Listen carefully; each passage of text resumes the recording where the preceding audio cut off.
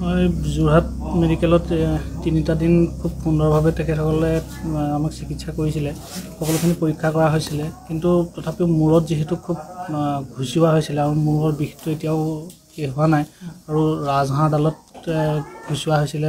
বাইকৰ চাবিৰে পিঠিৰ চাৰিটা জেগাত ইতিমধ্যে গাঁতৰ নিচিনা হৈছে আৰু প্ৰচণ্ড বিষ হৈ আছে। ৰাজহাড়ত আক্ৰমণ কৰিছিলে ৰাজহাড় বাইকৰ চাবিৰে। হয়। অনিমেষক আক্ৰমণ কৰা হৈছিলে। একে আক্ৰমণ তোমালোকৰ ওপৰত চলিছিলে? নিশ্চয় নিশ্চয়। প্ৰথম প্ৰথমতে আহি সেই যিটো ক'লা গুণ্ডা বোলাজনে তেতিয়া মই নামটো গম পাইছোঁ তেখেতে প্ৰথম আহি প্ৰথম ঘোচাটো মোক মাৰিছিল। আৰু মোক ঘোচাটো মৰাৰ পিছতেই অনিমেষক বেলেগ এজনে ধৰি ধৰি দেখাই দিছিলে ইজোৰটো বুলি আৰু তাক লগে লগে জেকেটত ধৰি লৈছিল জেকেটত ধৰাৰ পিছত তাক মাৰিছিলে আৰু মোক সোঁফালে লৈ গৈছিলে। অনিমেষক মাজত ৰাখি আৰু প্ৰণয়ক বাওঁফালে তিনিটাক তিনিফালে নি একে সময়তে সহায় কৰিছিলে। কিবা আচলতে তোমালোক সৌভাগ্যবশতে তোমালোক বাচিলা। হয় একেবাৰে সৌভাগ্যৱত কি কিয়নো আমাক চাৰ্টত ধৰিছিলে। চাৰ্টত ধৰোঁতে আমি চাৰ্টটো ফাটি গ'ল কিন্তু অনিমেষক জেকেটত ধৰিলে আৰু সি যথেষ্ট ওখ আছিলে। চাৰিটা মানুহে প্ৰথমতে তাক ধৰি ল'লে। সেইকাৰণে একেবাৰে সি একেবাৰে এৰাই আহিব নোৱাৰিলে প্ৰথমৰ পৰা সেইকাৰণে আৰু সি পৰি গৈছিলে। পৰা সময়ত তাক বৰ বেয়াকৈ গচকিলে। তোমালোক সেইদিনা একেলগে আছিলা তিনিজন বন্ধু আছিলা। তোমালোকৰ প্ৰত্যেক মুহূৰ্তত কিন্তু অলপ বেছি হ'ব মনত পৰিব বা প্ৰত্যেক মুহূৰ্তত তোমালোকে পাহৰিব নোৱাৰিবা এই ঘটনা। সেইদিনা বুলি নহয় মই সৰুৰ পৰা যিমানখিনি আজিলৈকে সপোন দেখিছোঁ তাত চব প্ৰতিটো সপোনত তাৰ তাৰ লগতে জড়িত হৈ সকলোখিনি সপোন দুটা বছৰ আগতে আমি মহাবাহু প্ৰেছ খুলিছিলোঁ দুয়োটাই আৰু এতিয়া নতুনকৈ এখন ৰেষ্টুৰেণ্টৰ কাম আমি কৰি আছিলোঁ। আৰু সি সিদিনা আমাৰ মহাবাহু প্ৰেছতে মোবাইলৰ পাৰ্টছৰ বস্তু ৰাখিবৰ কাৰণে গ্লাছ আনিবৰ কাৰণে সি গৈছিলে। আৰু তাৰপিছতে ৰেষ্টুৰেণ্টখন সি আমি সিদিনা গৈ থাকোঁতেই খুব সুন্দৰকৈ মনত আছে। পুলিবৰ যেতিয়া পাইছিলোঁ পুলিবৰত সি কৈছিলে ৰেষ্টুৰেণ্টখনৰ নাম ন সোৱাদ দিম। ন সোৱাদ মোক কৈছে ন সোৱাদ দিম। মই বোলো ন সোৱাদ মানে কিনো? সি কৈছে ন ন সোৱাদ সদায় হেনো ন ন সোৱাদ দিব সেইকাৰণে ৰেষ্টুৰেণ্টখনৰ নাম ন ন সোৱাদ আৰু ঘূৰি আহি সি ডিজাইনটো বনাব। ডিজাইনটো মোক কৈছে মোক ওপৰত ন সোৱাদটো ডাঙৰকৈ থাকিব আৰু তলত মহাবাহু বুলি থাকিব।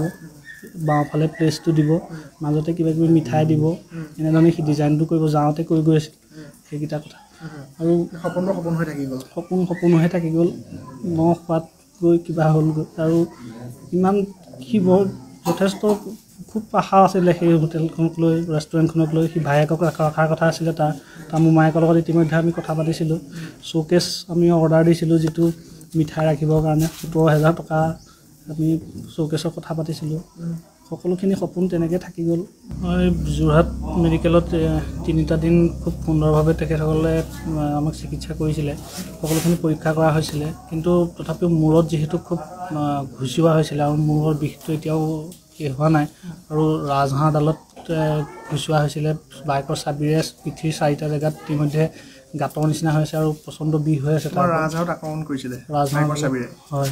অনিমেষক আক্ৰমণ কৰা হৈছিলে? একে আক্ৰমণ তোমালোকৰ ওপৰত চলিছিলে? নিশ্চয় নিশ্চয়। প্ৰথম প্ৰথমতে আহি সেই যিটো ক'লা গুণ্ডা বোলাজনে তেতিয়া নামটো গম পাইছোঁ তেখেতে প্ৰথম আহি প্ৰথম ঘোচাটো মোক মাৰিছিল।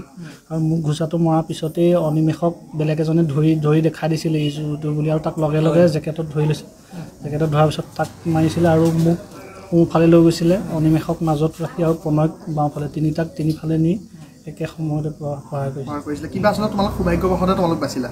হয় একেবাৰে সৌভাগ্যৱত কি কিয়নো আমাক চাৰ্টত ধৰিছিলে। চাৰ্টত ধৰোঁতে আমি চাৰ্টটো ফাটি গ'ল। কিন্তু অনিমেষক জেকেটত ধৰিলে আৰু সি যথেষ্ট ওখ আছিলে। চাৰিটা মানুহে প্ৰথমতে তাক ধৰি ল'লে। সেইকাৰণে একেবাৰে সি একেবাৰে আহিব নোৱাৰিলে প্ৰথমৰ পৰা সেইকাৰণে আৰু সি পৰি গৈছিলে। পৰা সময়ত তাক বৰ বেয়াকৈ গচকিলে। তোমালোক সেইদিনা একেলগে আছিলা তিনিজন বন্ধু আছিলা। তোমালোকৰ প্ৰত্যেক মুহূৰ্তত কিন্তু অলপ বেছি হ'ব মনত পৰিব বা প্ৰত্যেক মুহূৰ্তত তোমালোকে পাহৰিব নোৱাৰিবা এই ঘটনা। সেইদিনা বুলি নহয় মই সৰুৰ পৰা যিমানখিনি আজিলৈকে সপোন দেখিছোঁ তাত চব প্ৰতিটো সপোনত তাৰ তাৰ লগতে জড়িত হৈ সকলোখিনি সপোন দুটা বছৰ আগতে আমি মহাবাহু প্ৰেছ খুলিছিলোঁ দুয়োটাই আৰু এতিয়া নতুনকৈ এখন ৰেষ্টুৰেণ্টৰ কাম আমি কৰি আছিলোঁ। আৰু সি সিদিনা আমাৰ মহাবাহু প্ৰেছতে মোবাইলৰ পাৰ্টছৰ বস্তু ৰাখিবৰ কাৰণে গ্লাছ আনিবৰ কাৰণে সি গৈছিলে। আৰু তাৰপিছতে ৰেষ্টুৰেণ্টখন সি আমি সিদিনা গৈ থাকোঁতেই খুব সুন্দৰকৈ মনত আছে। পুলিবৰ যেতিয়া পাইছিলোঁ পুলিবৰত সি কৈছিলে ৰেষ্টুৰেণ্টখনৰ নাম ন সোৱাদ দিম। ন সোৱাদ মোক কৈছে ন সোৱাদ দিম বোলো ন সোৱাদ মানে কিনো? সি কৈছে ন ন সোৱাদ। সদায় হেনো ন ন সোৱাদ দিব সেইকাৰণে ৰেষ্টুৰেণ্টখনৰ নাম ন ন সোৱাদ। আৰু ঘূৰি আহি সি ডিজাইনটো বনাব। ডিজাইনটো মোক কৈছে মোক ওপৰত ন সোৱাদটো ডাঙৰকৈ থাকিব আৰু তলত মহাবাহু বুলি থাকিব। বাওঁফালে প্লেচটো দিব মাজতে কিবা কিবি মিঠাই দিব। এনেধৰণে সি ডিজাইনটো কৰিব যাওঁতে কৰি গৈ আছিল।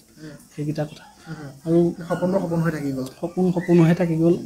ন খোৱাত গৈ কিবা হ'লগৈ আৰু ইমান সি বৰ যথেষ্ট খুব আশা আছিলে সেই হোটেলখনক লৈ ৰেষ্টুৰেণ্টখনক লৈ। সি ভায়েকক ৰখা ৰখাৰ কথা আছিলে তাৰ।